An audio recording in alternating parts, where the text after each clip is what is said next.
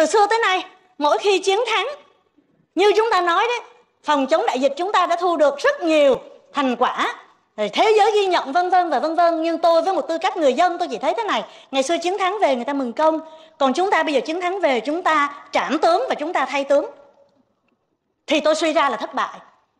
Mà chưa kể là gì, với nguyên một cái hệ thống ngành y tế, thì cái số lượng cán bộ y tế phải trả giá cho cái đại dịch này là quá lớn và tôi nghĩ toàn bộ công tác của chúng ta, từ giám sát cho tới ra báo cáo, là bây giờ phải làm sao để mà đi vào thực tế. Trong tương lai, nếu như dịch bệnh quay trở lại, thì chúng ta sẽ đối phó được tốt hơn, sẽ bảo vệ được người dân, sẽ bớt người chết.